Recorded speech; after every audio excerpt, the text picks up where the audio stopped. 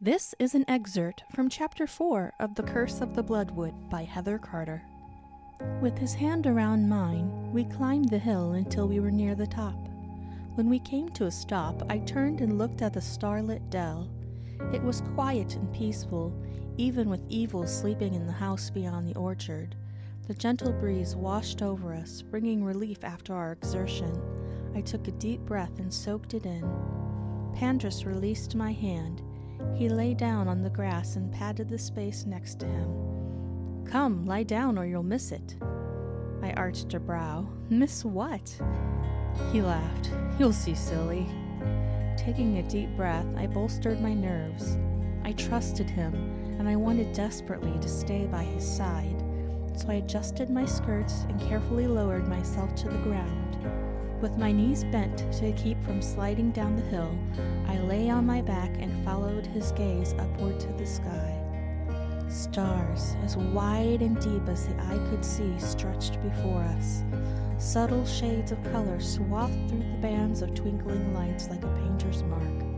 It was more beautiful than any sky of stars I had ever seen. And then the first light streaked across the canvas. It was a small ball of white, shooting fast, with a glittering trail behind it. I gasped. I saw a falling star!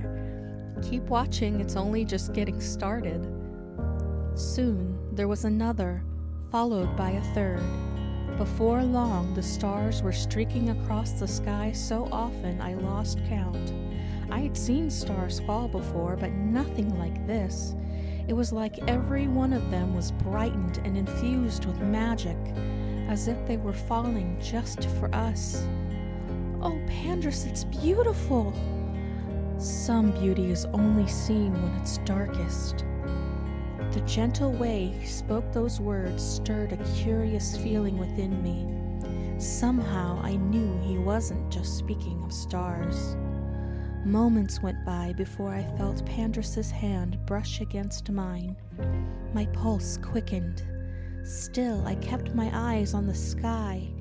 His fingers slid under my hand and gently intertwined with my own. A beautiful warmth blossomed from the point of contact and spread up my arm before washing through my whole body.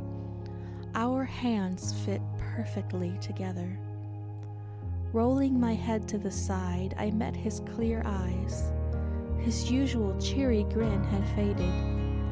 In its place was a soft look that spoke volumes, more than words ever could. We lay there, under the brilliant canopy of falling stars, taking in the light in each other's gaze instead.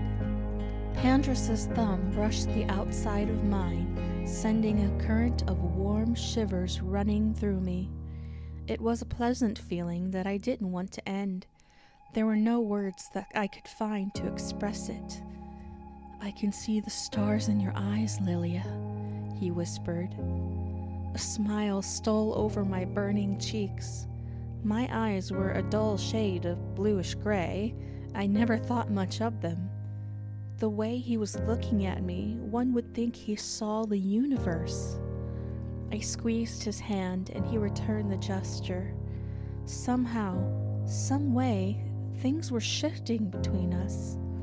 It had happened so quietly, so naturally. There I was, amid torment, finding an oasis. This has been an excerpt from Chapter 4 of The Curse.